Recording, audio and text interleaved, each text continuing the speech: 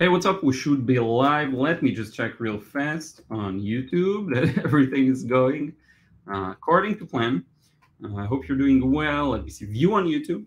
I always have to confirm. Let's see if it actually starts. Uh, so I hope everyone's doing well. Thank you so, so much for being here. Here I am. Here is my face. Uh, thank you so, so much.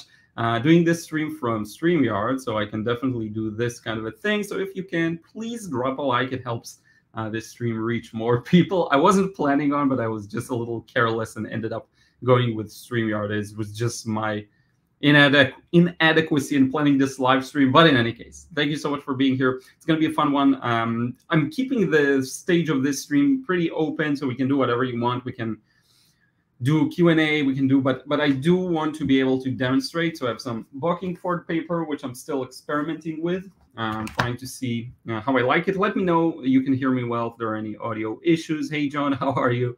Uh, John says, Hi, Liron. I hope you're well, my friend. Thank you. Hey, Ambi. Hi, Liron. I'm sorry I haven't been around for some time. Normally, my drum cycle is on Thursday, but today I'm able to be here. Oh, cool. So, welcome. Uh, Ambi, very glad to have you here. And Drum Circle sounds really cool. Uh, so yeah, hey Kate, uh, good morning from North Carolina. Hey Christine Bourgeois. It feels like it's been a while since I did a stream. I don't know why. Uh, let's see. Let's get rid of this banner for a moment here. Um, says hello all. We have Crispy in the house. Hey Liron, I'm here as well since I don't have to walk the dog I'm taking care of. Sadly, dogs are the best. Yeah, yeah, yeah, definitely are. And I have a surprise to show you here. There's a cute little fellow on the on the uh, on my couch. Let me show you one second. Okay, can pull this out. And then we'll do this kind of thing. So you can't see it, but let me just, I'm going to show you. We'll do um, this. And can you see this pupper? Maybe it's not uh, focused well, but so that's my bad because it's not an autofocus. But we're doing a foster thing um, for this cute, cute dog. Maybe I'll, I can share like a picture from how did I how did I set it up? Here we go. Maybe I can share a picture from my phone. It will give you a better view. Some have seen it on, on Discord, but we're doing a foster thing for a little pupper, and he's super cute, sleeps all the time, pees everywhere, but the pads we put. Uh, so yeah.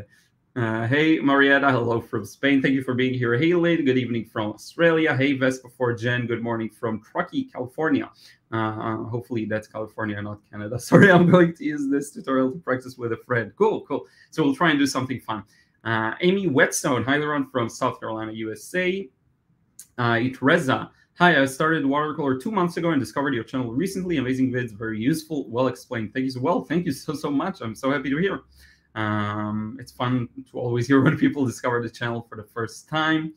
Uh, sweet dog, yeah, he, he's really cute. Uh, I'll, I'll give you a better view later on, but yeah, it's really it's really fun for me to hear whenever people discover the channel, um, and very happy I can help in any way. I'm sweating because I literally had to run here with a lot of heavy weight just to get here in time. Um, so I have a few artworks to show you. Some of them you have probably seen. Um, a few things I've been working on, and then we can jump into techniques. So I actually want this to be all about whatever you ask me. So just hit me with a comment um, in the chat. Let me know what you want me to show or demonstrate. Uh, if not, I'll just wing it, but I think it's going to be fun. Uh, let me start with this uh, painting that I have shared pretty much everywhere. Um, from the Squid Game. I don't know if the so the audio quality seems kind of not too well. Let me uh, not audio video. Uh, let me see if it's just on my end. Yeah, I don't know what it is. Why is the camera? There we go. I think that's better. So yeah, I did this one uh, from the Squid Game. A lot of people liked it. It was fun to work with that kind of a blurry effect in the background, and you can see it everywhere on Instagram here on YouTube. So it was just a very fun and challenging painting to do. Um, I actually plan. Let me leave this for a moment. I actually planned on doing another one from the show, and I have. Um, for anyone who's watching, if you haven't watched, sorry, but I did this portrait of the. Um, I actually have his name somewhere. Let me check. Hyosung Tai or Tay. I'm not sure how to pronounce it, but that's the guy, you know, the the mobster guy from the show. So that was pretty fun. Um, too much French drawing, which is something we will talk about. I have this tendency that I need to get rid of. Uh, but let's see what you're saying in the chat. Anayansi says, Greetings and blessing to all from Houston, Texas. Cool. Thank you for being here. Roman Diazzi, following you from Montevideo. Cheers. Montevideo, the hometown of Alvaro Castagnet. Sunflower Cherry Flower says, Hey, sir. Hey, thank you for being here. Vespa for Jenny, your partner is fantastic. Thank you so much. Uh, so yeah, this it was really tough actually. I, I did everything in the background pretty much wet and wet except for this section. Um, I did want to film the process, but some of these processes they require so much attention that there's just no way I can film while doing them. I'm not not good enough. I'll just say that. Um, in this one, so this kind of reminds me personally of the portrait I did of Arya Stark. And actually, let me do this you may be able to see it better here. Yeah, so I think this actually looks better here on this camera. Right, I think the colors look a little better, the quality looks a little better. Um, so yeah, I did this one. Where should I? I never know how to hold it. Let's go like this. so I just finished this one today. Um, a bit too heavy on the French ultramarine. I need to start incorporating more neutral tint, which I was actually supposed to get today uh, from Amazon, but so it's so weird. I ordered four items. One of them is this case for my for my new iPhone, and I got three out of the four items, and one is like a separate shipment. I've never had that happen to me. And the funny thing is, it's a huge box with tons of free space. So why not just throw in there the neutral tint that I ordered? So I don't know, but uh, I I really want to try and work with more colors for the dark values. I find that I don't like this color combination as much, but I do like the portrait. Um, so let's see what you are saying. Let me go back to this format. I know the quality isn't as good, but that's fine. Uh, Vespa for Jen says portraits, portraits. I love yours. Thank you. Uh, Pence Palacio says, Hi, Liron. Good to be back. Thank you. Thank you for being here. I haven't seen you uh, in a while here, I think, or were you last week? I don't remember. Uh, it really feels like I haven't streamed in ages. I don't know why. Uh, Linda says, Hi from Quebec, Canada. Pence Palacio also says, I've been so busy lately because of med school. Guess I'll uh, be hanging out with you today. Thank you. Thank you so much. Uh, and that if you if you have anything to do, you know, no worries. You can watch it after the fact or don't watch it. That's fine. But how is it going with med school? That that has to be really intense. Um, Barb says hi from Ohio, and Pence, I just miss hanging out. Yeah, definitely. So I'm I'm really happy to have you here.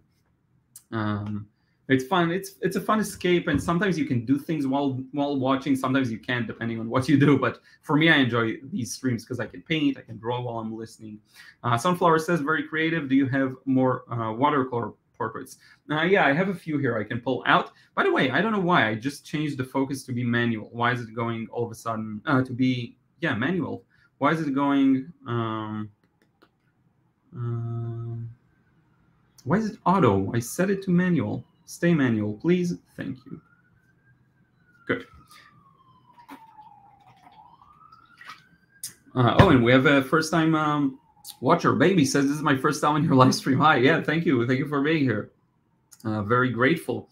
Uh, Mariana says, I've been painting with watercolor almost two years and I feel I know nothing. Yes, same here. Six years and still nothing. Seven. There's so much to learn all the time.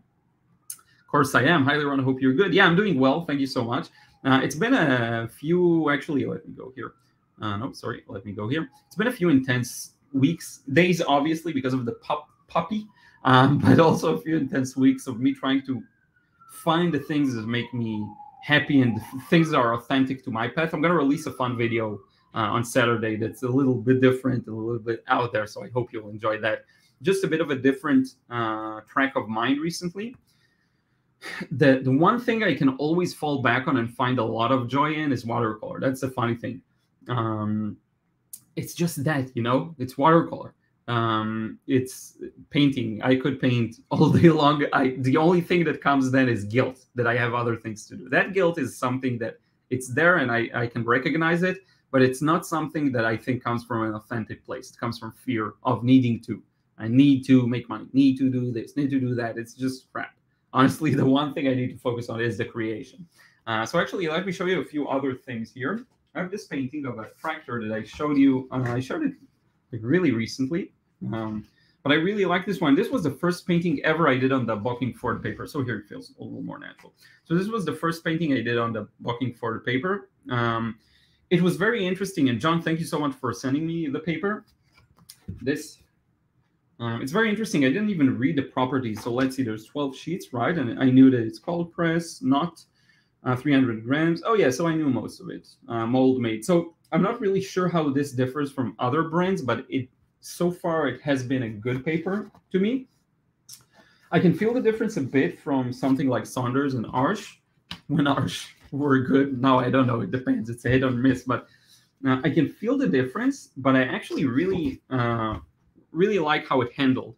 Um, it's a bit of it, and it could be fun to show you a comparison actually. So maybe I'll bring up the the photo. Oh yeah, I don't I don't even know if I can. I can show you on my phone.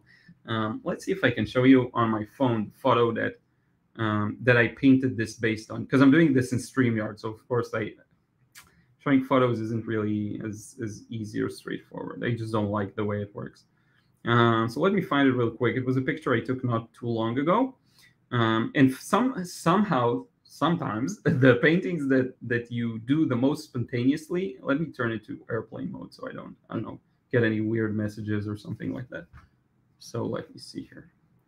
Um, there we go. So this is the picture. And if you want to compare it, if you can, see?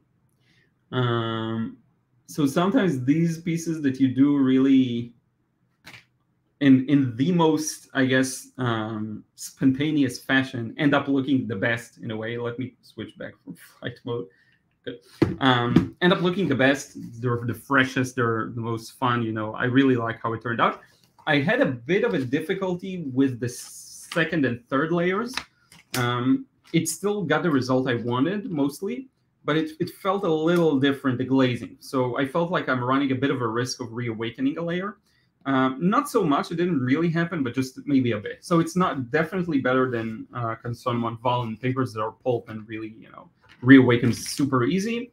Um, I don't know if it's as good as Arches, but I, it, it's close. It's close. And if th if this is priced better, I definitely consider it if you you're looking for a cheaper paper. Um, so that's it's a good discovery. Uh, Anayansi says, "Love your new fur baby." Yeah, so it's a temporary babysitter. Hopefully, they'll they'll find a home for him because I didn't show you, but let's see if I can show you. You know, I'm all over, but should I just rotate the computer and show you? Let's see, because now he's in an angle where you'll actually see him well. So let me do this. There we go. he's sleeping there. So yeah, he's cute. Uh, he actually has two casts on his legs here. I know it's barely visible because they found him with broken, uh, fractured, I guess, uh, two fractures, I think two in every in, in two in his front left and and and left hind leg. Um, so I don't know what will uh, what will happen and how easy it's going to be to find a home. But he's running around like nothing, so I, I don't really think it's going to be a problem. But no, but he's he's really jumping around, no problems. Ruth hates him because she hates dogs, but that's fine.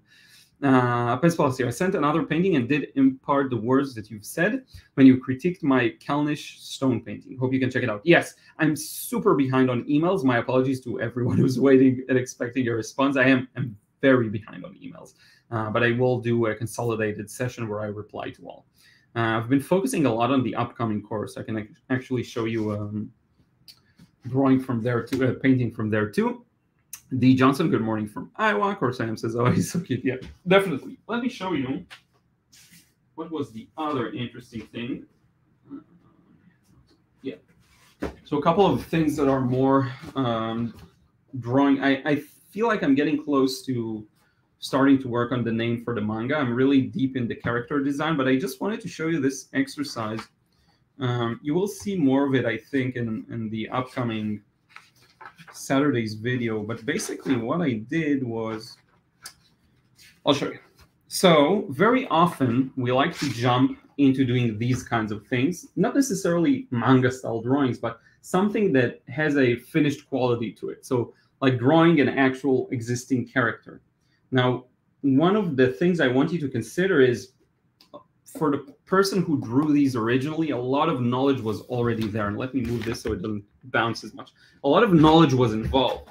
And I didn't feel comf comfortable. I felt like I'm getting things wrong. Why? Because the understanding of the face, my understanding of the different planes of the head and the face wasn't good enough. So I did get a few decent ones like this one that I really like, but it's not perfect and things are a little off and it frustrated me. So I dove a little deeper on faces, so you can see it here. um, and really understanding the shape of every plane of the face. And it's not easy, but eventually I produced something that a few of them that I really liked. I couldn't get the nose right. I talked about this uh, in other places too. The nose was a huge challenge, so I took a break and just focused on noses. Um, but it's just to show you that none of this really comes easy necessarily. It does take a lot of repetition uh, just to really understand what you're looking at. This may seem a little robotic, but it actually really helped me um, because then I was able to uh, design a character for the manga. I shared it in the stories today too, I think. Uh, it's not here; it's in a different sketchbook. But it, it really helped me with um, drawing things more correctly, I guess. The the thing is that drawing correctly is more important than um, drawing beautiful. You know, sometimes you'll draw something and it's just it's just good enough and that's that's all you need but you need it to be correct. You need to understand the basic shapes and how they're built so it's really important. Um, so let's see here. Uh, mb says poor little puppy hope you will, do fine. Yeah i think he will uh, Christine, so good of you to foster. My dog hates other dogs too. Yeah, Ruth, she starts to accept him, but honestly, I just hope she's happy. You know, she's she accepts him, even though she tolerates him. I hope she is herself is still happy, even though he's here. Uh, Sunflower says, "Can you paint watercolor food item or product?" Yeah, that could be fun. We we can do that today actually. So let me open up the uh, Saint uh, the Saint Cuthbert mill Bockingford paper and let's do some stuff here. Um, one thing that I that I like about um, sketching is that I actually do have a set list, if you will. Now, let me remove the tape here so I can set this aside. I do have. Let me bring this. Uh, I do have a set of uh, exercises that I that I know I can fall back on whenever I need to uh, warm up or even just not to fall back on, but just do to warm up.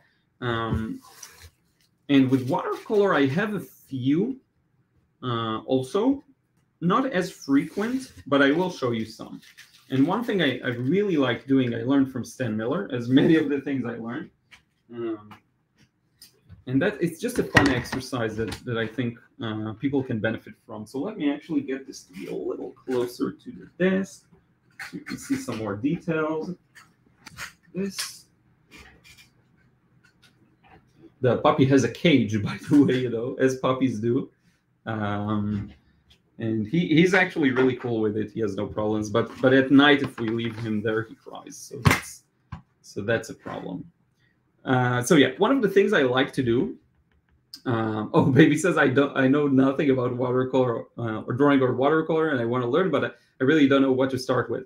Uh, if you're in this place, just start with something. Honestly, just look at something and try and draw it. Um, like the bottle I have here. I wasn't planning on doing drawing, but I want you to even before you learn structure, before you start getting into deeper stuff, you just look at something like the bottle that's right in front of me uh, that you, I'll show you. It's just here, bottle, and um, and you just draw it. Okay, so let me show you. You just, and we can even paint it afterwards. But so yeah, so I'll start with something and you won't get it right. Let me, let me work left hand so that we'll see how bad I am with left hand drawing. You won't have the coordination required and you won't even have the observational skills required. So you'll get things often very inaccurately.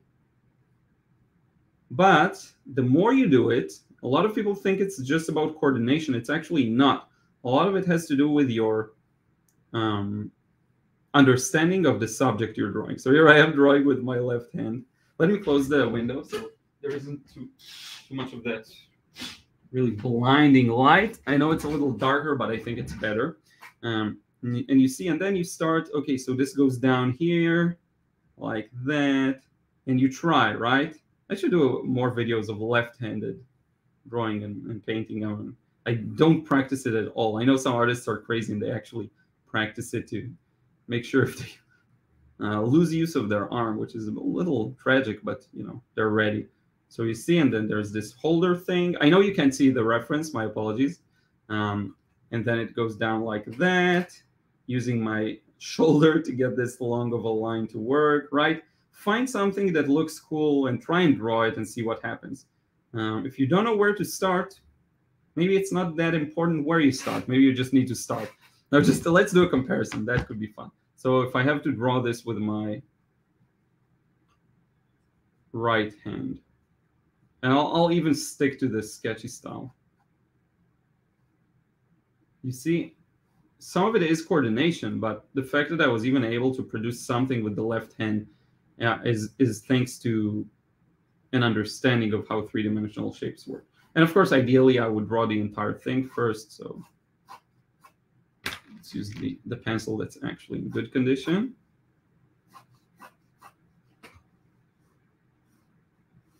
So you see, obviously, this one's a little more polished. But you have to start somewhere, right? So, and then that merges into here. And then that connects here. See? So that's the difference between uh, when you're right-handed or left-handed, right? And you can probably see it better here. I really need to get a new camera. This one sucks. There you go. Uh, so I wasn't planning on doing any uh, drawing, but just for fun. Let me see if I can open it just a bit. And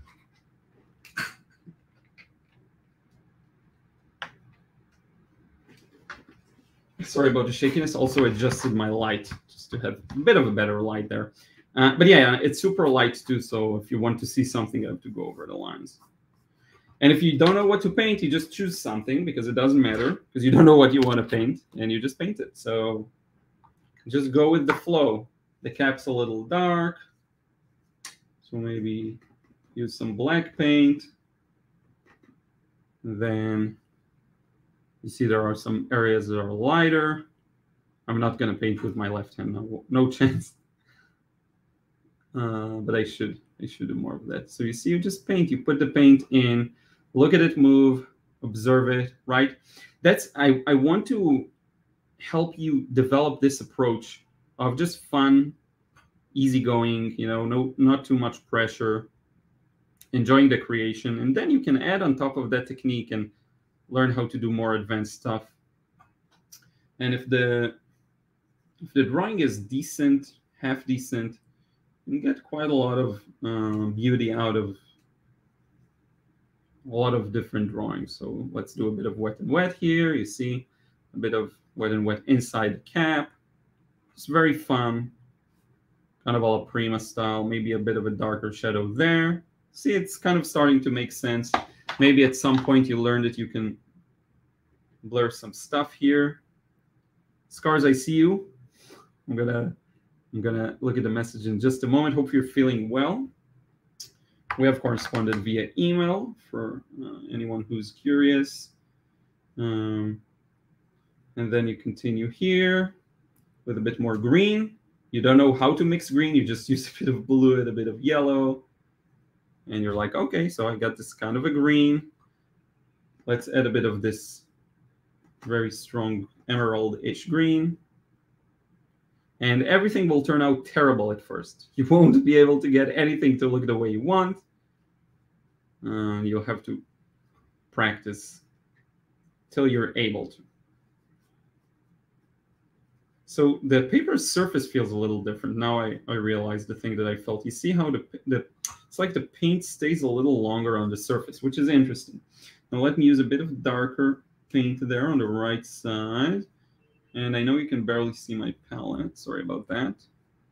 A bit of a dark paint, a bit of a dark paint here where the uh, water is concentrated, where the edge of the water is concentrated. Maybe, maybe you turn this around to help the paint move a bit, like this. And you got something nice, you know, got something. Point, don't overthink it. Now, if you want to make it look really cool, you just add a cast shadow like this. And that's it. You got something. You can, of course, come back with some water, help it move.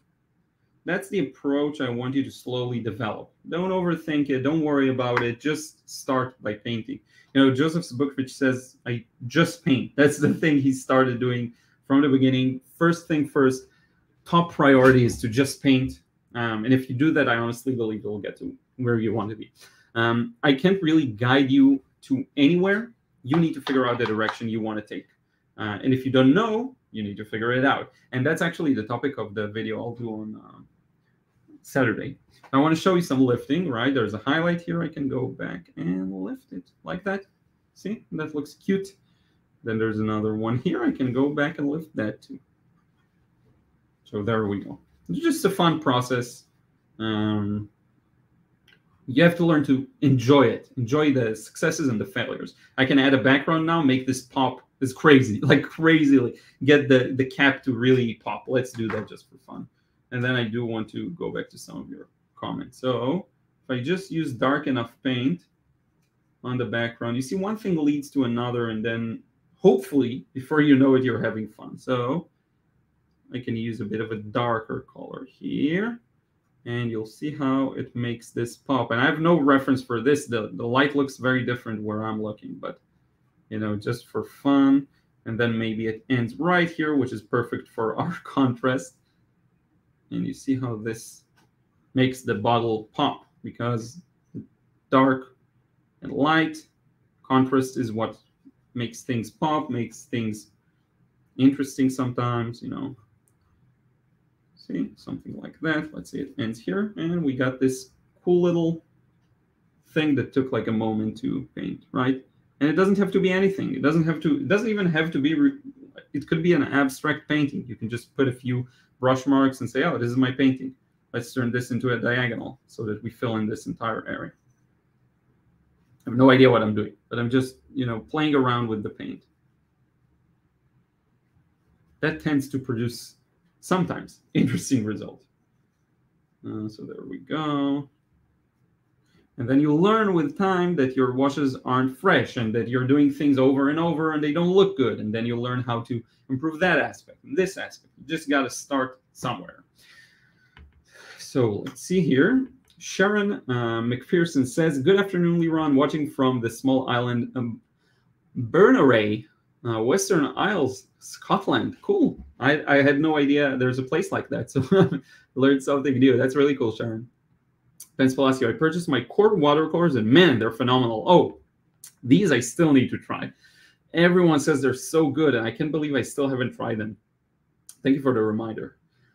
Uh, the science, the sciences rule. Greetings, Liron. Hey, uh, thank you for being here. Hey, Scars. Hi and how fair the interesting stuff. Thank you so much. I hope you're feeling well and doing well. Uh, keep me posted. As always, I see people are happy to see you here. Um, so welcome aboard as always. John A. Scars, good to see you. Thank you so Everyone's so cool and nice. Good job on that artwork. Thank you, Sunflower. Uh, Richard Bennett says hello, everyone. Uh, thank you for being here, Richard. Hi, John. Good to see you. Otherwise, news. We'll go to a little bit, but still swinging. Yeah, that's the most important stuff. Um, I think you replied to my email, right, Scarsol? I need to check that out. Um, so yeah, this is like a very fast very quick kind of way of you just look at something and you paint it. Uh, now let me know if you have any uh, question. I'm thinking if I want to darken some stuff here. You see now I'm now I'm into it. Now I'm like, oh, I want to improve it. Uh, so let me know. It's your opportunity right now, everyone, to ask uh, any questions, uh, any technique you want me to show. Um, I'd be happy to demonstrate. So I'll add just a few more details like this with uh, just linear kind of fashion let's indicate that this has some uh, thickness to it. Kind of lost that wet and wet effect. This definitely requires some indication. And soon I'll be able to open the window again. We'll have some natural light, hopefully, that isn't terrible. Uh, like that. And I totally forgot about that other side there, the cap. Uh, but yeah, so just fun, loose, light-hearted. You can paint anything this way. I painted it super short, by the way. It should go maybe down to here. Uh, one more thing I've been toying around with is the idea of painting without any um, any pencil lines at all. So just you know to, to go for it, which could be a fun fun thing to try too. Uh, so let me know if you want me to try and do that kind of a thing. Um, da -da -da. Uh, and Jay Morgan says, thanks for the great video. As a beginner, you're a great teacher. Thank you. Thank you so much. By the way, there's a video I want you to check out if you missed it, because a lot of people missed it. It's the one with the blue car that I did wet and wet.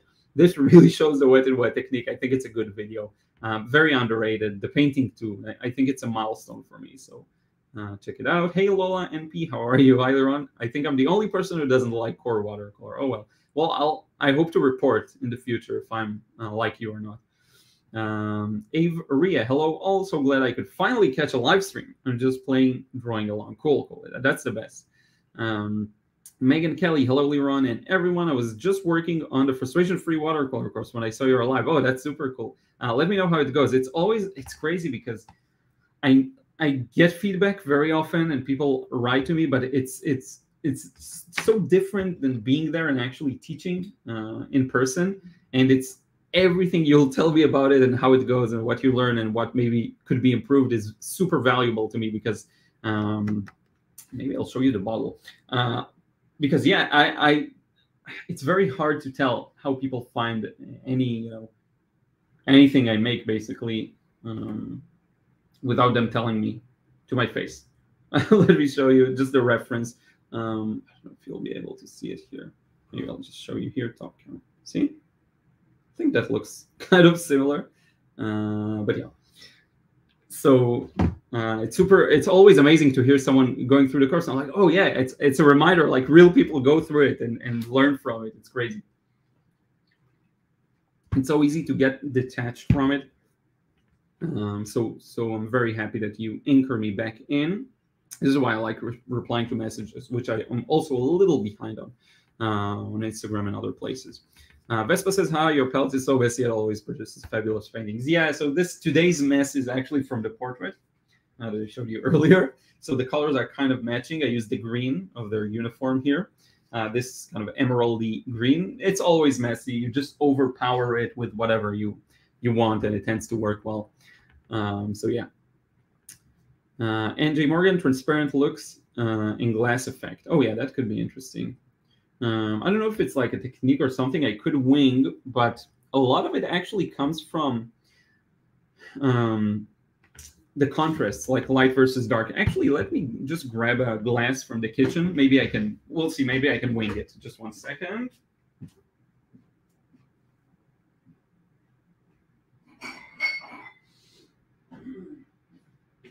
Yeah, so thank you for your patience. Now, the one thing it will depend on is actually the light and shadow here in my room. Um, so yeah, it's kind of mediocre. I don't know if I'll be able to produce something great. Let me just look for a picture online. Glass. And I'll try to kind of demo, and I, I didn't set this up correctly again. So um, I can't really bring in photos, but so for example, one of the things that I noticed Let's do glass still life. Let's see what we can find. In worst case, I can share a link to the photo in the description box and you can take a look. Oh yeah, that's nice actually. Mm, let's see here. But I want a photo, not a painting that's already made. Yeah. Is this a painting? No, good. So a lot of the beauty in these will actually come from the contrast of the light and dark. That's the, the key thing that leads it. Um, so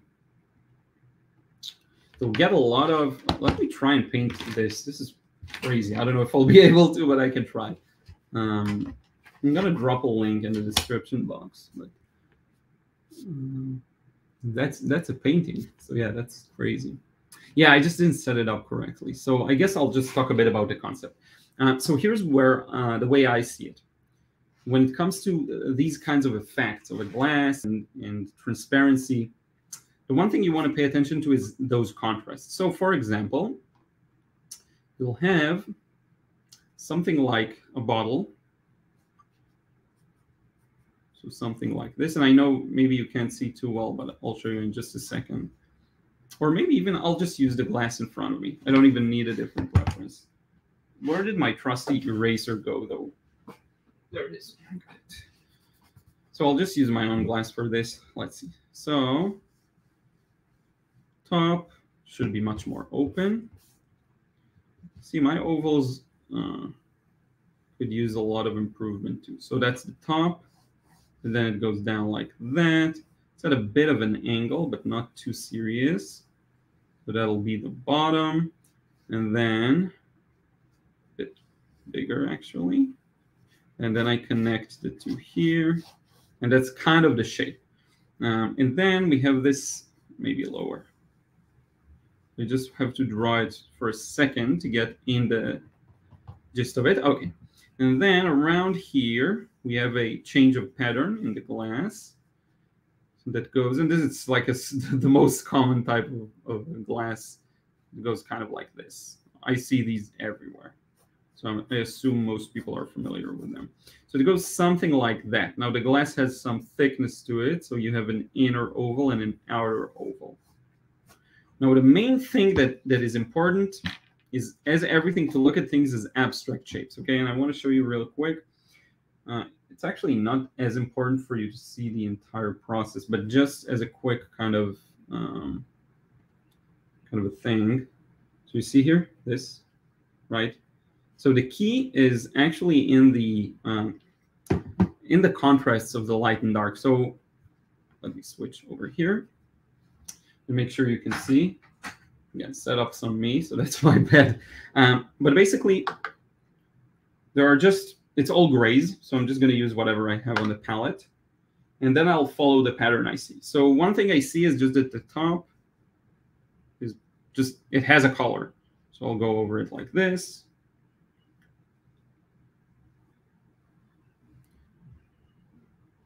So it's something like that, right? And then from here, it starts to be a little interesting because you have this side, and I'm starting super light on purpose and very thin too. I usually don't use this brush like that, but I think it'll be fun. And you just follow the pattern of light and shadow, whether it makes sense to you or not. That's the key here. So like I see all, all of these different shapes, and then I see this skewed shape from behind running down like that. That's just what I see, so I recreate it. And then I see another one of these here. I see a bit of it here, kind of like this. And then there's a reflection of my sharpener that is blue. So you get a fairly dark line that goes down like this, down to the bottom. Now here's where it gets interesting. Here you start to deal with reflections of this cutting mat surface that, un that is under. Uh, not reflections, but you can actually see the thing. So inside it, I see all of these very abstract shapes like that go like this.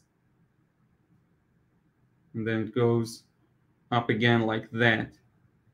And if you can recreate these shapes and skew them in the right direction, you'll kind of get the effect of the glass.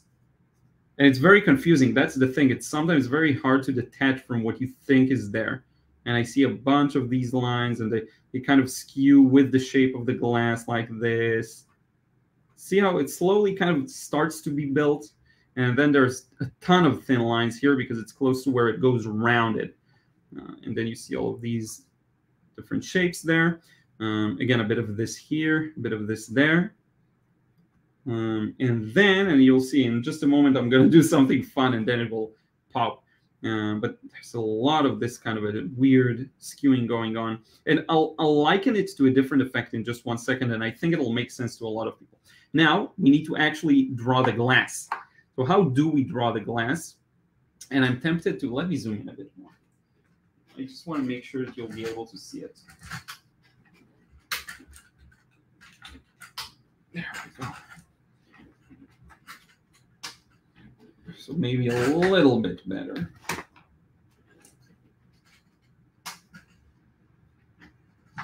Good. Sorry for my not so good setup.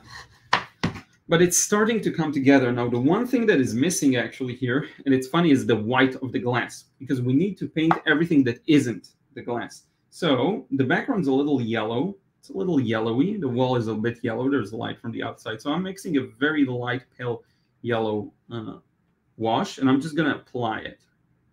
I'll see what I can do here. And then here's the key. You need to leave some highlights for the actual glass. That's the funny part. So I'm going to just fill it in and leave a few white highlights. And I'm doing this a bit sloppy, so you'll have to forgive me, but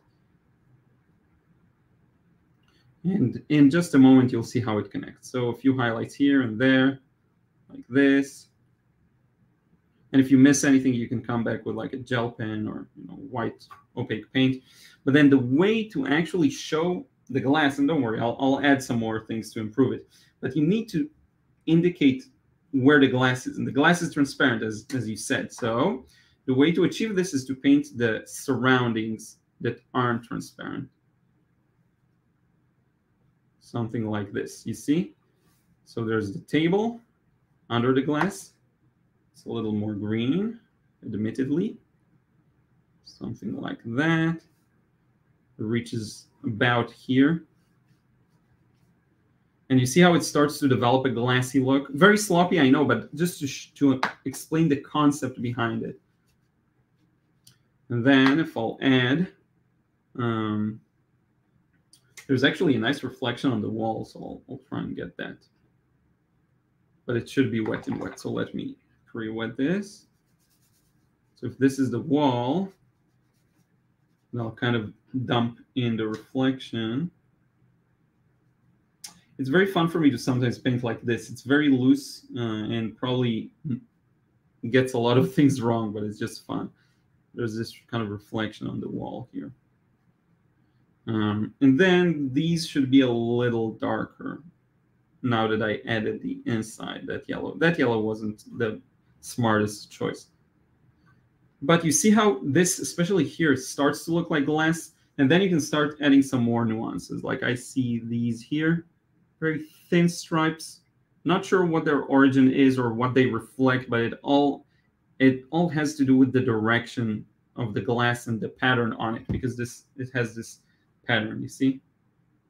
So basically highlights, uh, darker areas, darker reflections on the sides, broken effect here caused by the different direction of the these things. So the one thing you want to pay attention to is all of these different shapes. It's not the easiest thing to do. And I would actually, if I would redo it, I'll, I'll have gotten rid of all of these. I don't need, I don't need this darker section. But yeah, hopefully that just goes a bit in the direction of glass. I can do a more dedicated tutorial. These require, even on your end, if you're going to paint something like this, it requires a bit of preparation and a very accurate drawing, I feel like, to get all of these nuances. So I hope that makes sense. Super random and not easy to, to do. Uh, I can try for another one if you want me to. Uh, uh, White Reza, I have a chessboard in front of me, six different pieces. I guess I now have a daily challenge for the week. Cool. Yeah masterpieces. I don't think you talk about the glass, but yeah. Uh, Baby says, I'll watch all your videos to learn. You're the best at explaining. Thank you so much. Um, the one thing I will say is very important is to explore on your own. So watch my videos. I'm super grateful for that. I think they're great for the techniques and understanding. But beyond that, you really have to dedicate yourself to the process of just discovering things on your own. So just saying. Uh, Liron, how do you achieve that wet, rainy look on a road surface? And also how to achieve an object such as a, uh, rock underwater. So let's talk about the second one. Rock underwater will actually depend greatly on the weather conditions. So sometimes you have clear water where you see the small rounded stones that are beautiful. I don't know what you call these. Uh, I actually knew, but I forgot. Let me check. Pebbles, maybe? We have a strange word for them in Hebrew. Uh, let me see here. I think it's pebbles. Um, but let me confirm. Yeah, pebbles. Okay, so you see the pebbles underneath. If it's a river, shallow river, that will vary again depending on the depth of water, the weather conditions, and so on. But the key thing to remember is the exact same as this. You have to disconnect from what you think is there, what you think um, the shapes look like, and draw them as you see them. That's the main thing. There was an artist that did a, a spectacular job at it, and I'm not sure if I can find them um, I forgot their name, but like beautiful beaches with blue wet and wet touches for the stones.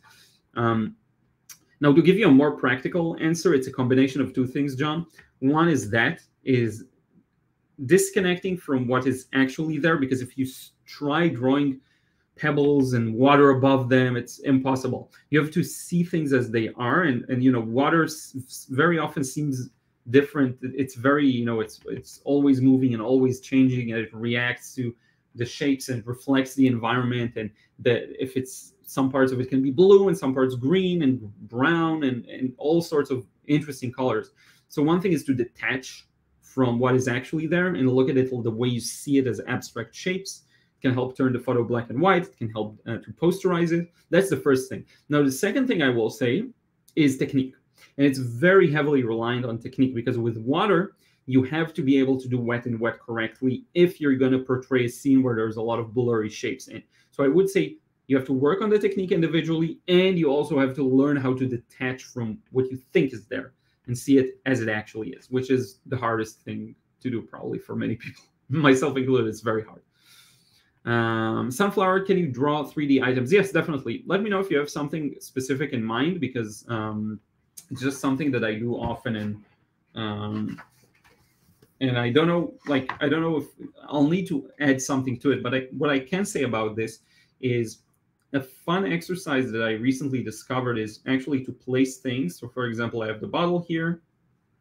So I can place like a, um, a cube next to it, or maybe an assortment of random shapes. Let's even get a triangle going there in the middle. Let's make it a pyramid. Yeah, let's do a pyramid. So something like this. And then I'll challenge myself to paint these shapes uh, in two values. So uh, white, paper white, and dark. And then you can start playing around with, okay, so let's say light comes from, where do we want it to come from? Let's do this. So this side of the bottle will be in shadow, something like that, okay? And then this part will be in shadow. This will probably also be in shadow by the um, by the bottle this will be in shadow, and then they'll also cast a shadow, so something like that. And then it's just fun to see if you can get everything done with just maybe, again, two values. So I'll mix everything together. And this is a great way of using up your excess paint, making sure you don't throw away too much. Um, let me get some of this cool blue too. And then you just go for it. So the inside is in shadow, and then this side of the bottle is in shadow, right? like we did here. The, the previous one taught us about it. But here's what I want you to pay attention to. I want you to connect these shapes of shadow. So you'll see when we get to the other shapes, of course, but here we go, shadow. And then let's blend this because it's a rounded shape. So the transition is going to be gradual. See, like this. Same here. And then continue with this wash down to the cube get the cast shadow in, get the shadowy side of the cube in, get the cube's cast shadow in, and then we don't have too much of a shadow to connect here, so we'll do the triangle separately. And then what you do is basically you check if you're able to create a sense of three-dimensionality. Um, for example, if we'd have another um, cube here facing towards us, that'll actually be beneficial because look what happens here. i I'm just putting in random details. We have this beautiful, so this cube is facing towards us. Now you get a negative space bringing out that lightest part here, right? So I like to sometimes do that. I'll just put a random assortment of shapes. Maybe let's make it wider. Um, I don't even know what I'm drawing here, but that's fine. Um, I like to sometimes just draw a random assortment of shapes and see if I can make them look three-dimensional. Um, let's try do I care that it hasn't dried yet? No, I don't. Let's try it again. Uh, let me let me see if I can find a good still life structure. Still life, um, still life, 3D uh, shapes. Let's see if I can find something good, and then tell me if you have any questions about that. I just I'm looking for an interesting composition that will show things front and back. Yeah, this is good. Okay, so I'll just draw it really quick.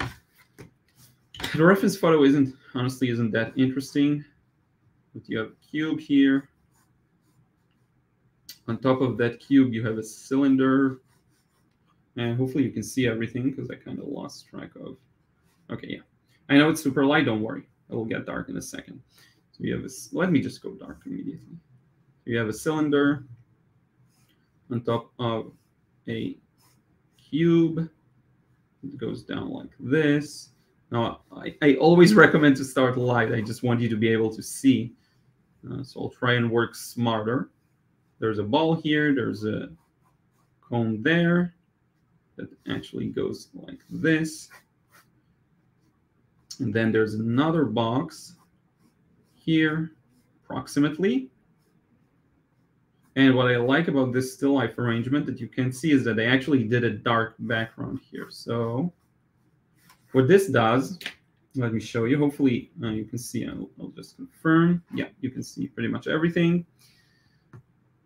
So what I like to do here, the, the, what I'm looking at is a sketch of this in three dimensions. But what I want to show you is a painting. So here's this shadow. The light comes from this direction.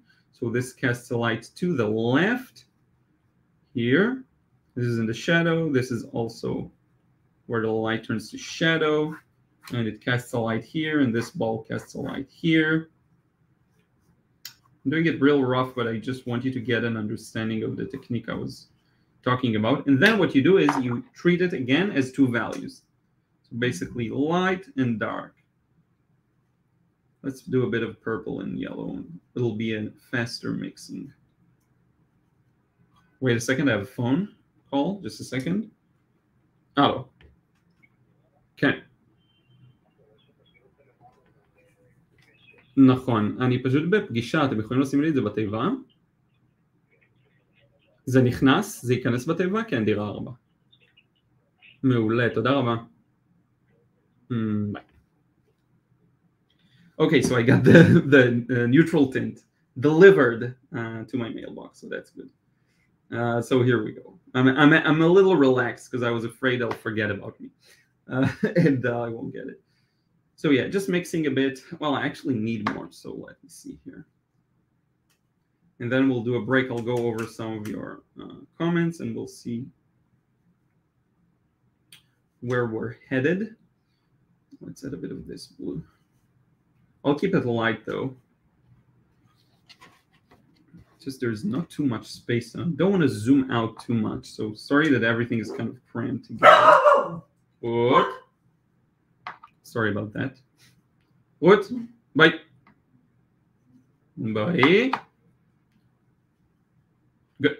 Uh, so I'm just going to paint it starting from the background. And I, what I want you to focus on is just one one value for everything. So look at how beautiful this negative space is going to be. And that's an exercise I like doing, actually. I'll usually do it smaller. This is huge, but just to uh, just to demonstrate the point, I'll go here and connect. See this connection?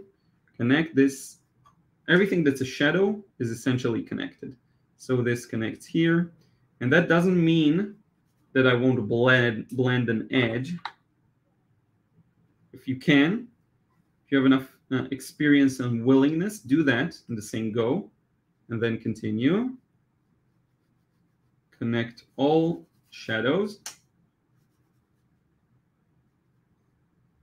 And I'm going a little fast to make sure that things don't dry. You see how the surface, this is a good opportunity. So the Bockingford surface, it's not perfect. It's, it's a good paper, but you see how the paint kind of stays on the surface and then it starts drying a bit unevenly that actually reminds me of a lot of um,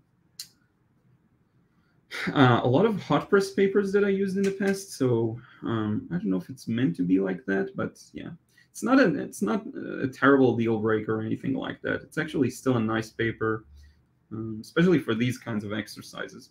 But hopefully you see how this kind of a thing, if you do it smaller so that it's not as intense, uh, it's actually quite fun uh, and, and it can help you understand how to merge shapes together. It can teach you a lot about negative and positive spaces. And then I have a cool exercise with ovals to show you. Um, and don't be afraid to come back with some water and really help help the paint move. You see, you got to help it move sometimes, and then connect. This is not that deep in the shadow actually, but let me do it because it looks like it should be. And then this goes here and this is in the shadow and all the rest is not. And you see, it's just a fun kind of thing. And then you ask yourself, does it look good? Does am I able to convey the three-dimensional uh, character of the scene? And if you can read this as three-dimensional objects, then uh, I succeeded. Now, what you can do is come back with a bit of uh, paint and just bring out some points that should be darker. So, for example, maybe the cast shadow here could be a little darker. Maybe here, especially near the center, could be a little darker. uh, here as well. Here, maybe there's some reflected shadow from the cone. The shadow cast by the cone. Here near the middle, maybe a little darker, you see. And then you can bring out some details if you want to bring out some more. But that's a, a fun little exercise that I will uh, occasionally do. So yeah, just bring out the, and of course I can, uh, now if I want to, I can paint all of the surface, the ground, if you will, and it will bring out the highlights. So let's do that just for fun. And if, if it's a mistake, it's a mistake, because I do want to show you how the light values can pop a bit. Uh, even just by adding a very pale wash to the surface itself, right?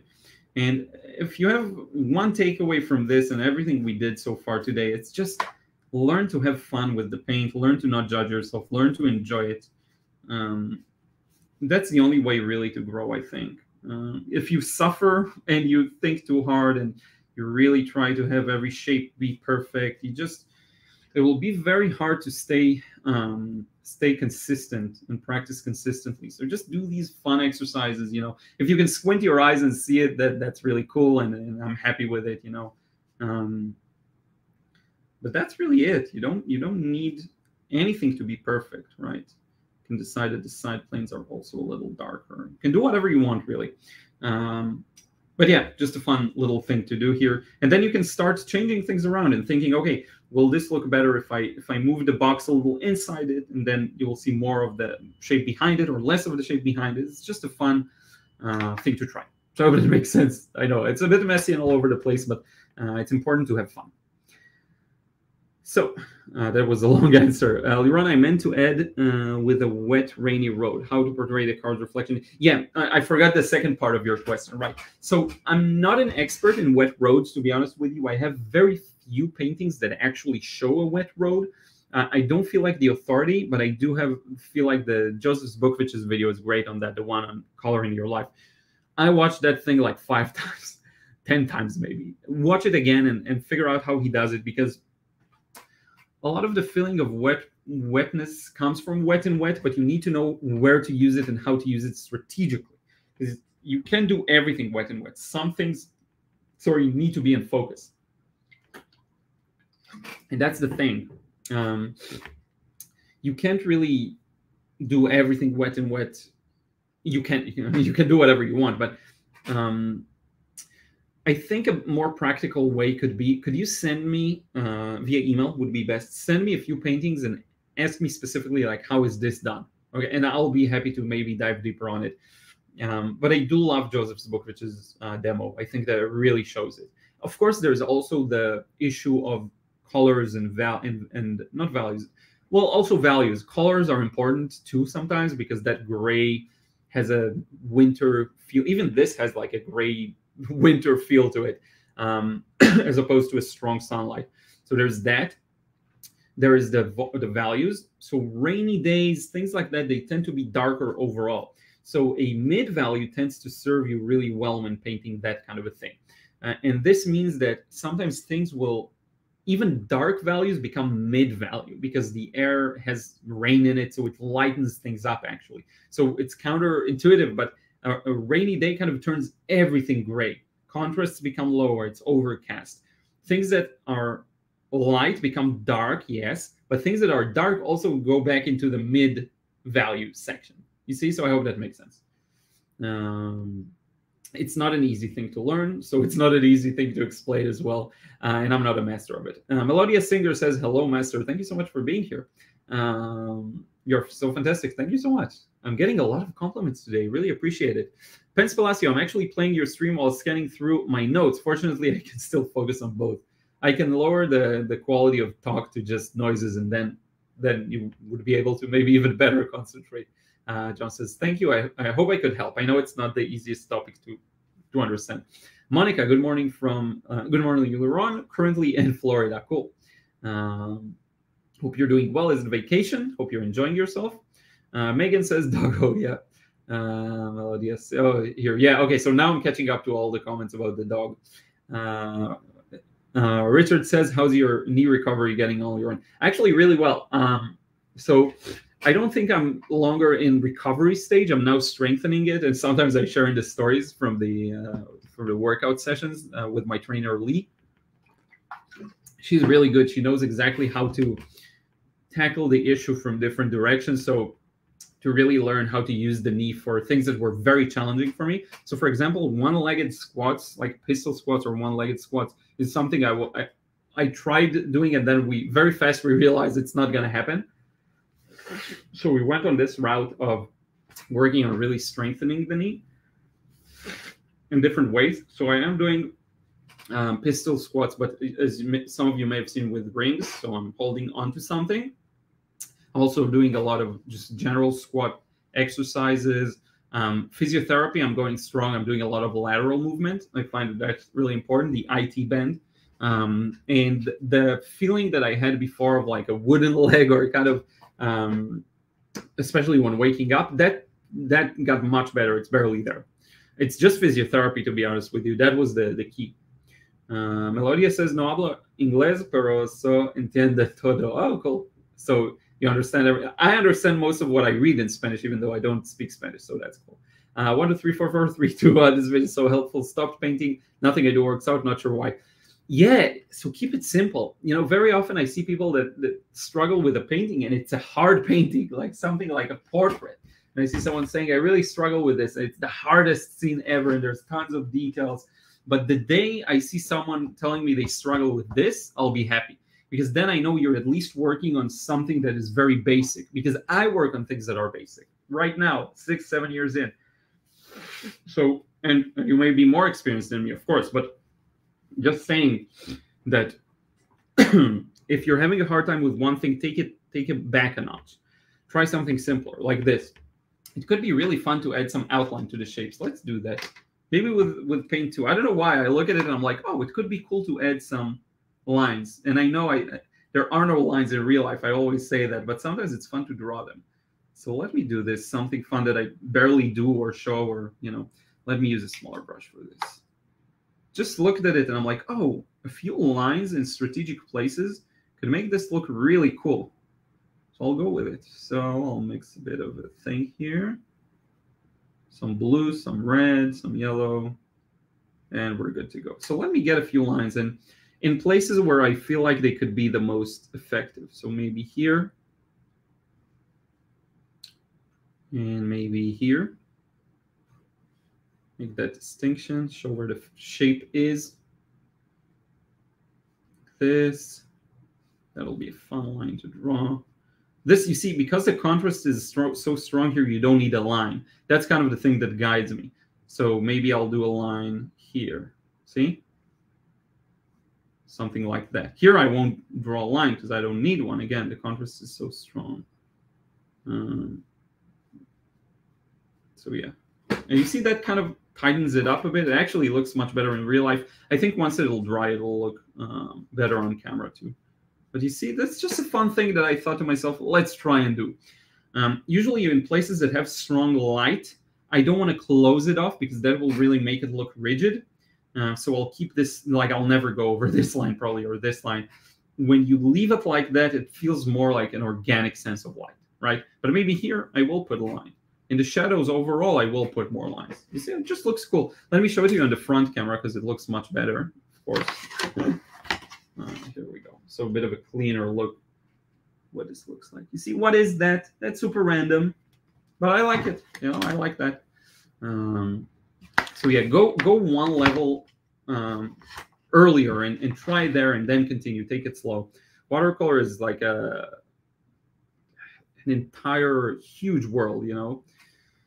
Uh, I looked away for a second and looked back, and suddenly there's still life painting. Very nice. Thank you so much. Yeah, it's just that. It's things connect very fast. You just follow the process.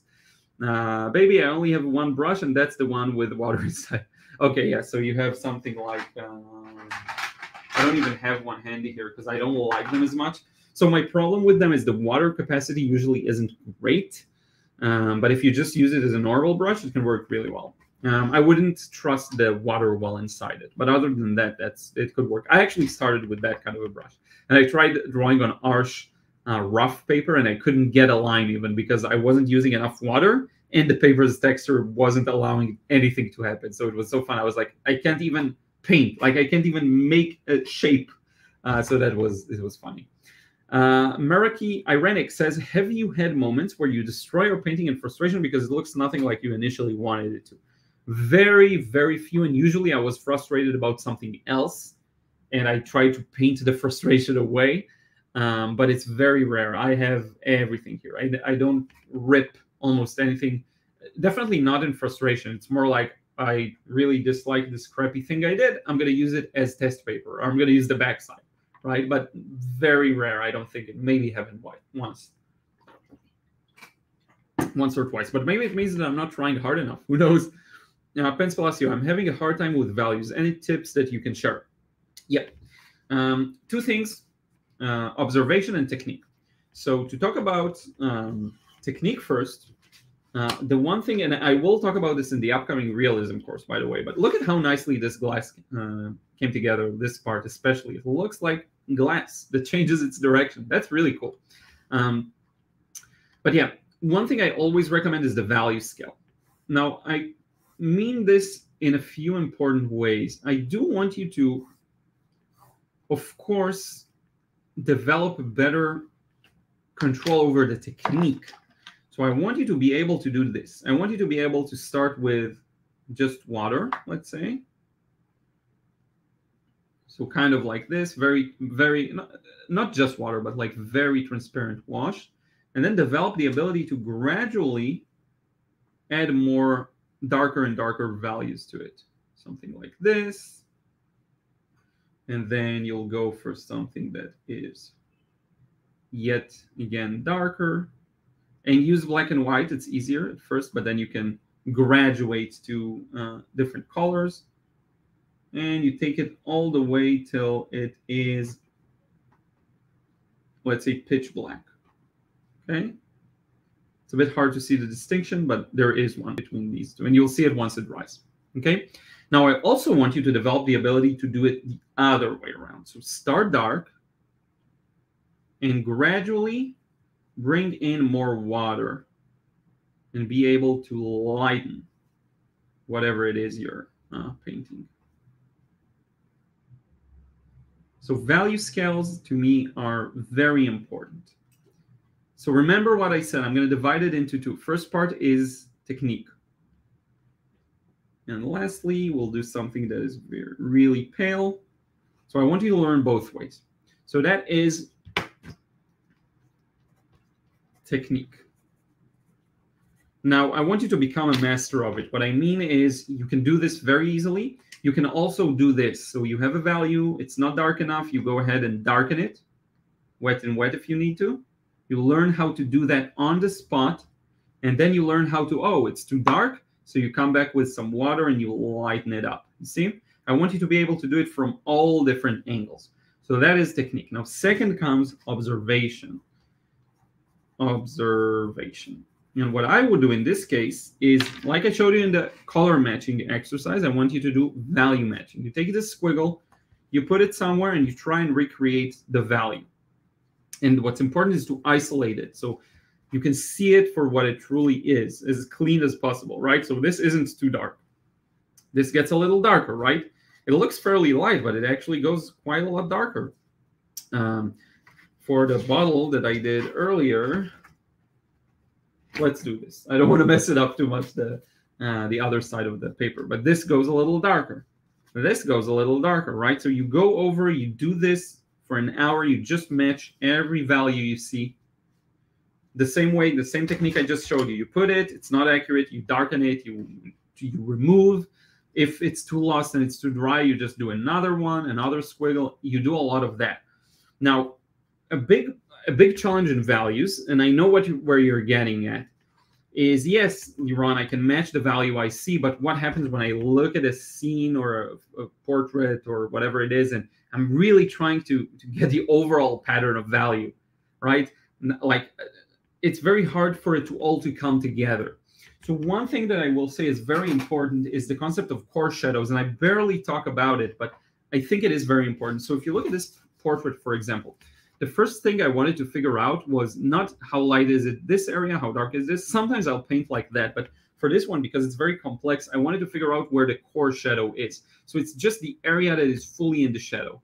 So this here, follow my line, here, going to the eyebrow, back here, around the eye, around back, and not even including this area, but actually cutting back here and going behind the nose to this entire left bottom part of the face. So my core shadow here, if I have to draw it, let me try and draw it for you, is follow the shape, okay? It goes from here down here around the eyebrow and the eye.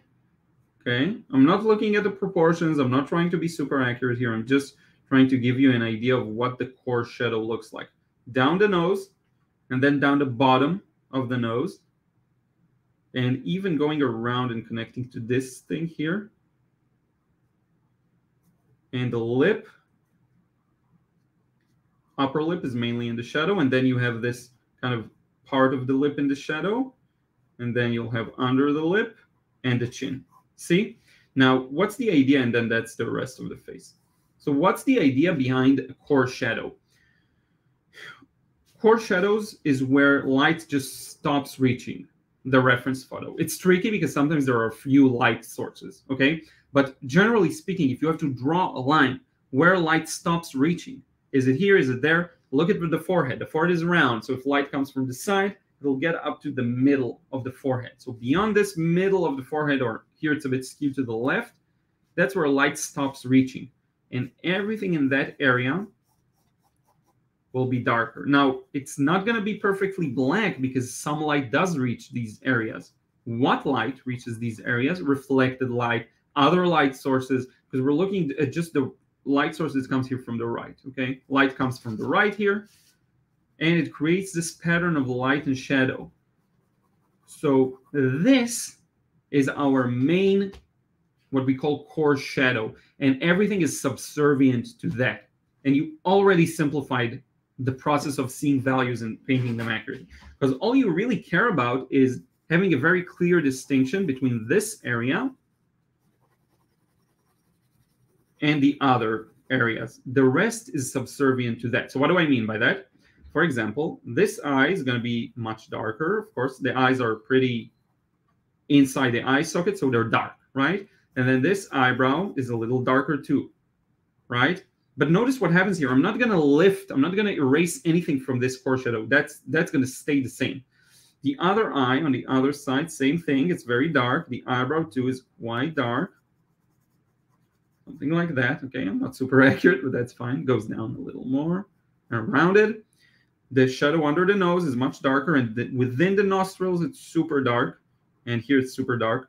Top lip is really, really dark, but we're still working within the constraints of that core shadow. You see, uh, this area tends to be very dark, and also under the chin. And under here, it's really, really dark. Okay, so we get this pattern right here. It's also very dark, and then everything that's in the lit areas is lighter than the core shadow no matter what. So for example, this side of the nose is also darker but it's not as dark. And this is also part of the core shadow, by the way. It's not as dark as the core shadow. Okay, the core shadow is darker. That's darker than this. This is just a very light shape. This here is very light. This here is light. See, it is a shadow, but it's a very light shadow. This is a shadow, but it's very light. So the idea is just like I've shown you here can you simplify? And you see it smeared the other side. So I knew this will happen, but that's fine. Can you simplify the entire thing you're painting into two values that are very easy for you to tackle? Where is the core shadow? So for example, where's the core shadow here on this cylinder? It's right here. This is the core shadow. You may have reflected light here. So you may find that this section is dark and this is a little lighter. That's a very common occurrence. Core shadow here is here. This is the core shadow on the cube where light can no longer reach. This is the core shadow on this cube, core shadow on this cube. This is a cast shadow. This is no longer a core shadow. This is a different uh, story. Nose is a cast to cast shadow, but um, shadows on the object, um, shadows uh, that are cast by the objects aren't, aren't considered really core shadow, depending on the context and how you. That's just um, that's just jargon. It's not as important to me. What's important to me is for you to understand that no one can really tackle everything at once. You know, of course you can if you go alla prima and you really try and get every value right, but you will get some unevenness. You will get some places where the paint didn't flow as well as you wanted it to. So what you do instead is you really look at a reference and you analyze it. Where is the core shadow? And all of the other shadows and lights are subservient to the core shadow. If you get the core shadow right, it will look good. Will it look perfect? No. Will it look exactly like the thing you painted? No. But it will look good. And that's the key here because it will be correct. So that's my long um, long answer. Now I do see you added. I'm like retouching every single layer because it's so uneven. So what you're talking about here, unevenness is a different story.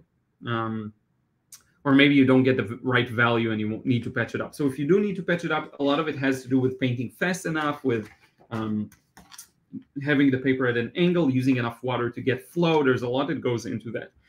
It could also be your paper pens. So maybe switch to a better paper. You saw here, it was a lot of it is uneven. And here's the irony, you know?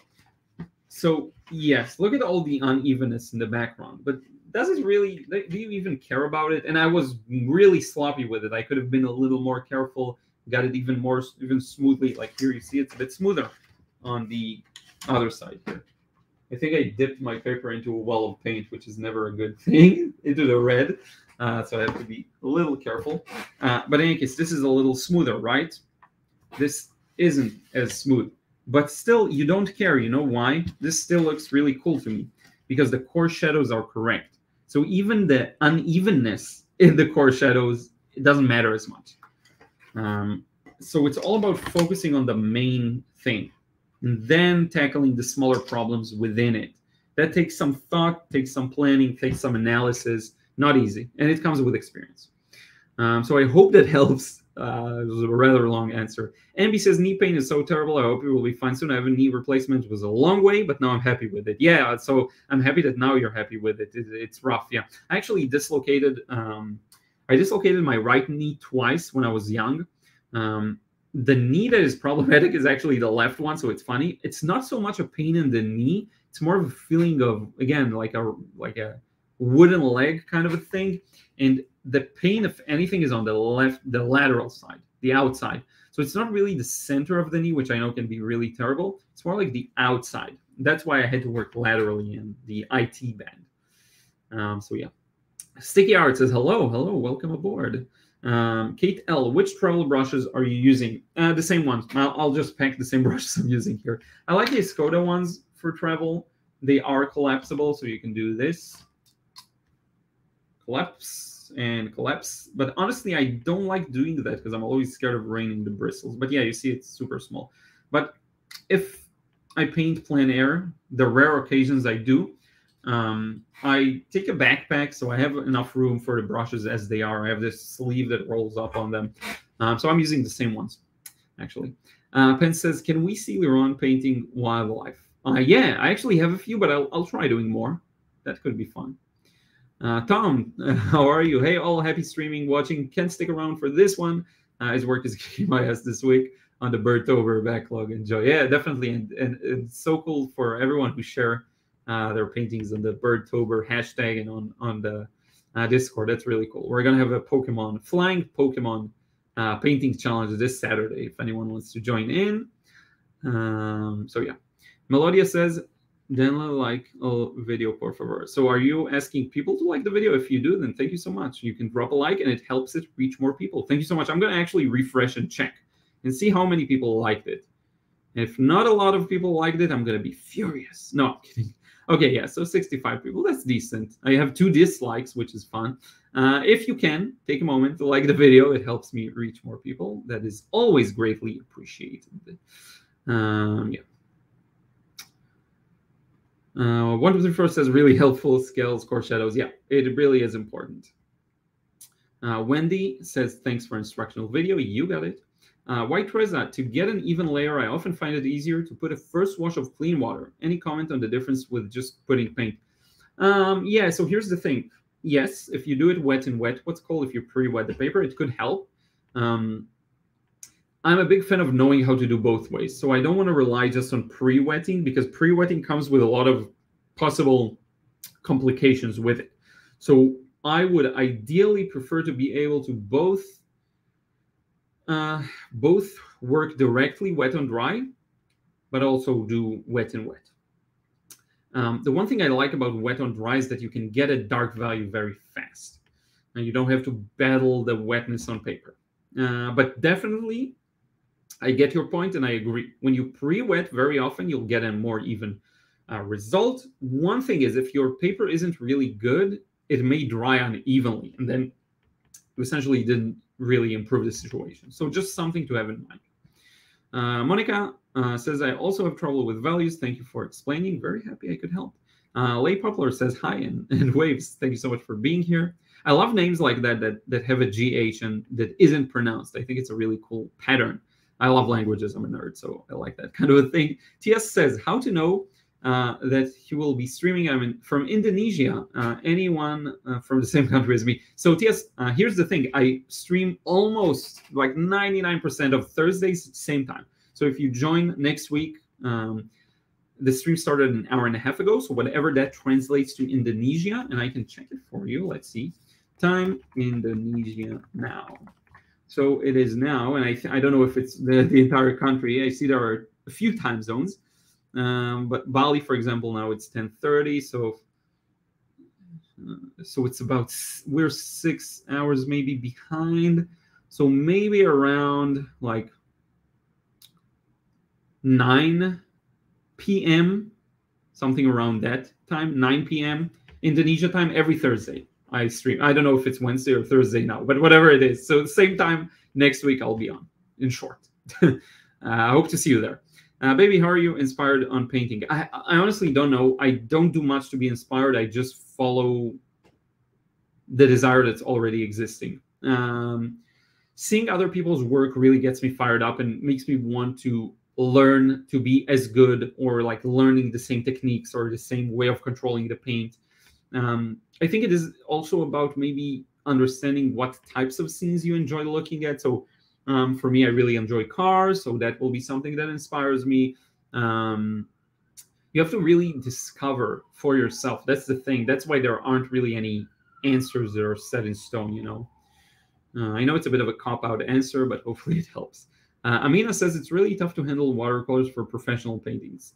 Yeah, for everything, watercolor is a challenge. You need to learn uh, quite a bit, but a lot of it, you know, I don't want to instill in anyone the belief that it's it's hard to to learn it because you can learn it very fast, and some people do learn it very fast. Um, as long as you understand the very basic interaction of water and paint, and you just spend hours filling in the paper with random scribbles, go dark, go light, try and blend an edge, you will get it fast. You know, it's just a matter of doing it more and more and more and more and more. Uh, so it's not that hard. You can, I think you can, I will dare to say you can learn a lot of the techniques in a month max, and you're good. Um, so yeah.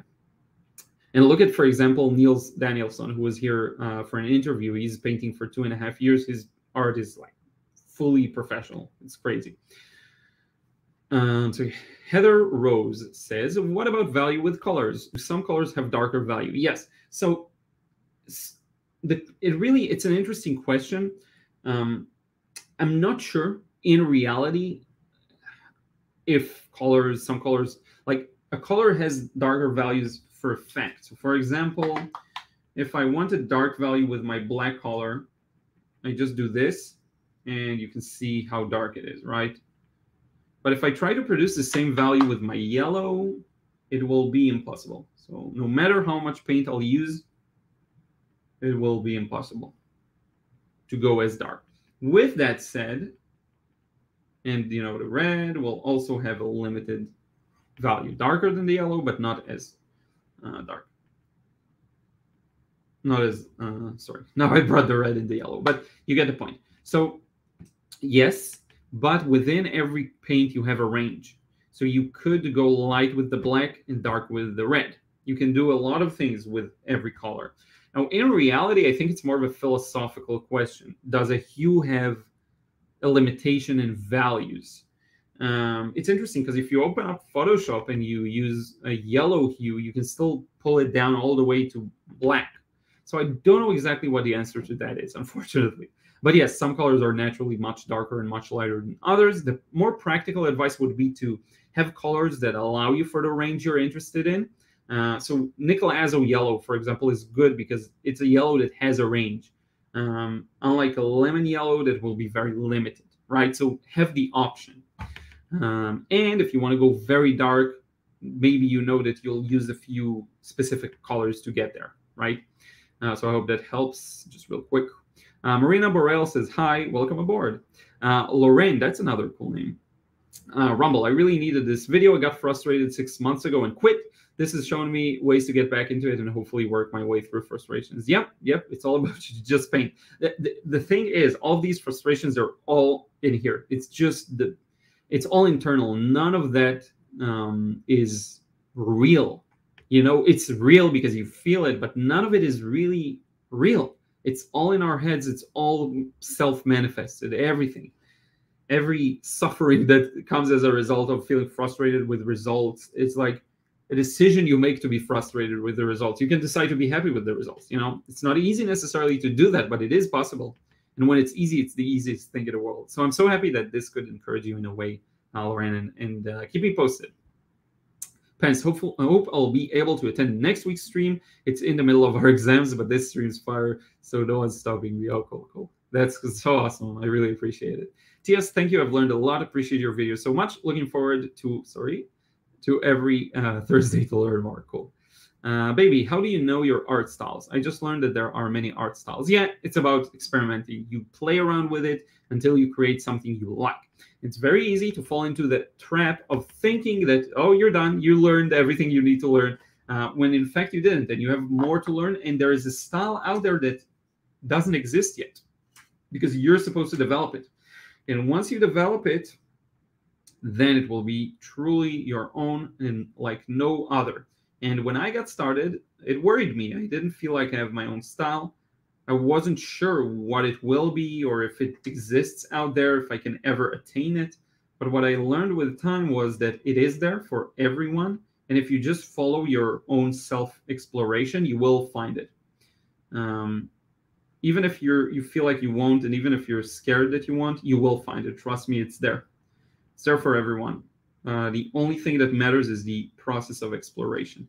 You have to practice on your own, find it on your own, find a way, because no one else can find your way for you. That's the bottom line.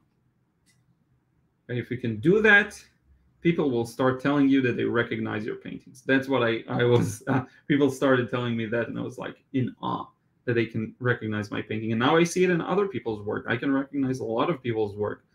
Uh, even people who are beginners, you know, I find that I can recognize their style very easily, actually, because we all have this. It doesn't matter who you are, you will have something about your work that is yours and distinct.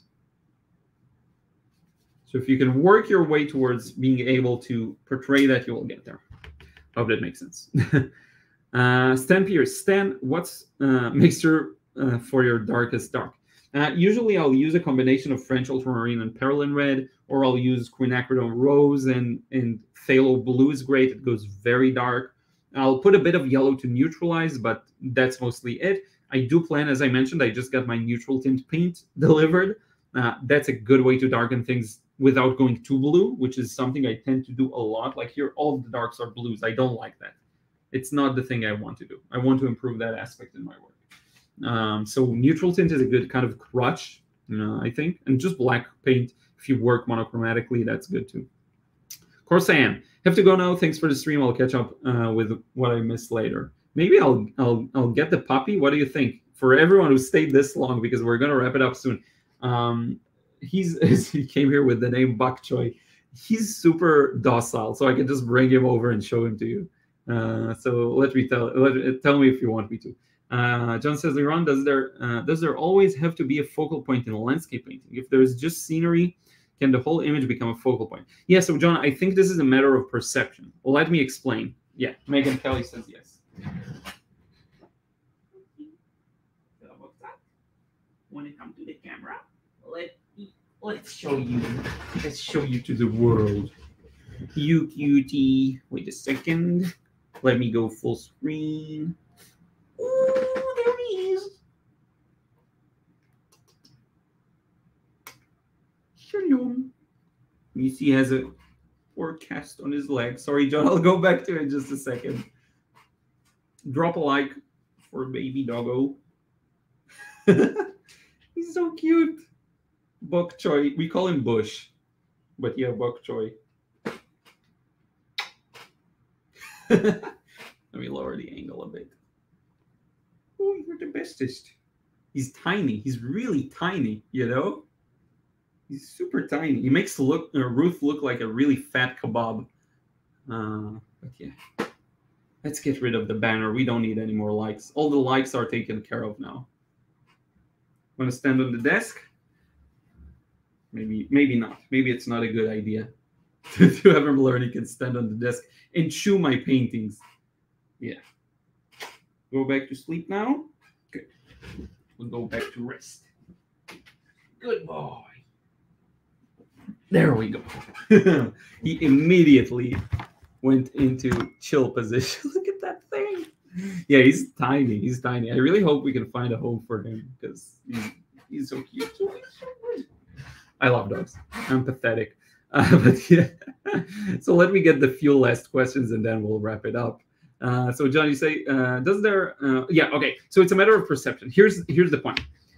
Your brain will find a focal point as the viewer of a painting. Let me move this aside. We're done.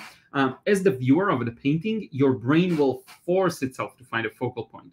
The only question is if you, as the artist, want to direct the viewer to a certain aspect you can even decide that you want them to decide where the focal point is and paint stuff evenly. But even if you look at this crappy thing, you know, what is the focal point? I did not try for anything to be the focal point, but maybe it's the dark sections. Maybe it's this. You know, if I put this entire thing, I frame it and put it up in a museum, of course it will fit right in, right? You can see this in, in the MoMA.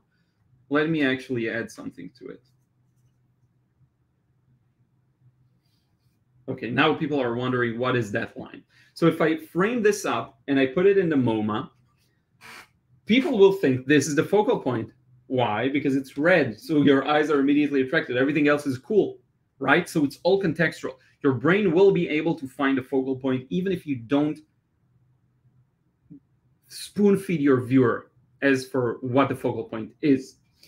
The question is, do you want one? If you want one, better set it up. And all good work uh, I think makes the viewer maybe feel something, right? So even if it's super abstract, there's no nothing representational in it.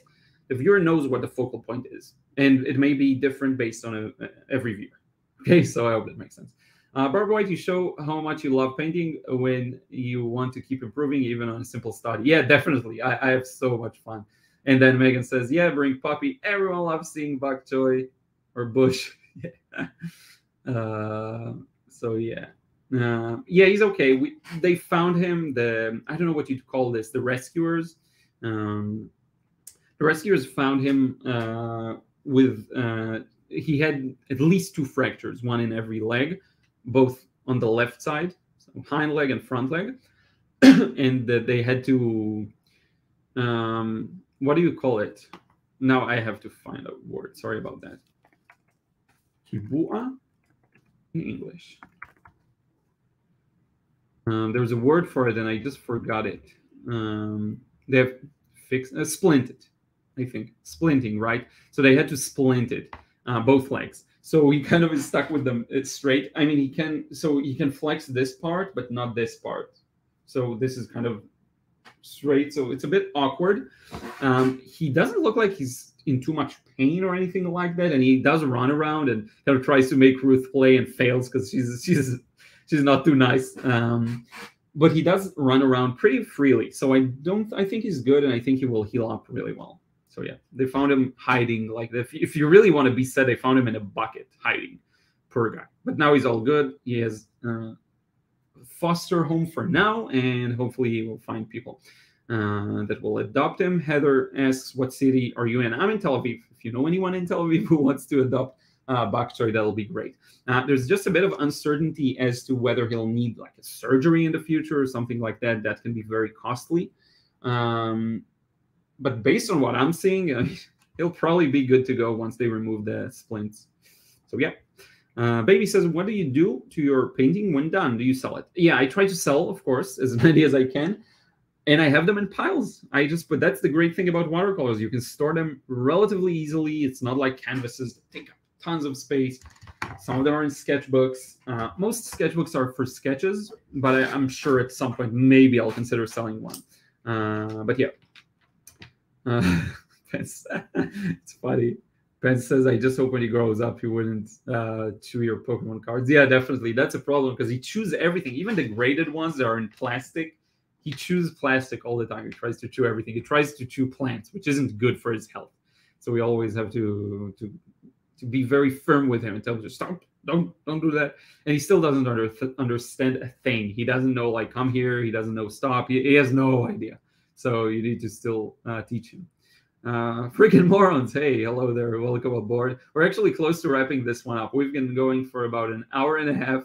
Um, let's see if there's any any other of last comments. John says, beautiful puppy. Thank you for another great live stream, Liron. Thank you so much, John. Um, Army Blink. Yes, I definitely sell them. So you can just go to lirongallery.com and find them there. Um, I'm actually thinking of, I'm going to drop a link, but I'm actually thinking of starting something fun where, you know, I take some of the very small paintings and do like occasional raffles or try to, you know, gift some. Um, I think it'll be really cool to do that. Uh, maybe we'll do something like that in the Discord. Maybe I'll do a challenge and then the winner gets a painting. I think it could be fun because I have a lot of them here. Um, and not all of them are in, in, the gallery, so I need to upload more. Uh, but yeah, you can just go ahead here and you'll find them.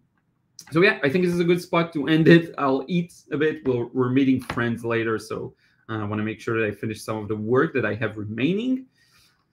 And yeah, I hope you have a wonderful weekend or rest of the week. Uh, happy that you learned, baby. Hope uh, I'll see you again next week's stream. And yeah, just a chill, fun one. Hope you enjoyed it. Really informal. I like doing these, especially after all the interviews and stuff that's a little more serious. It's fun to once in a while do something more chill, more relaxed, more easy for me. Uh, if you have anything you want me to cover in a future live stream, simply let me know in the comments. Thank you so much, Sharon. Thank you for being here. Um, very happy it was valuable and entertaining, hopefully. Uh, just let me know in a comment or whatever if you're watching it after the fact. I'll be happy to do it. I'm looking at the next round of uh, videos to do that will be more techniques and stuff like that. So just let me know and I will. Thank you so much, everyone. I will see you again real soon. And Saturday's video is going to be a special one, so we'll talk soon.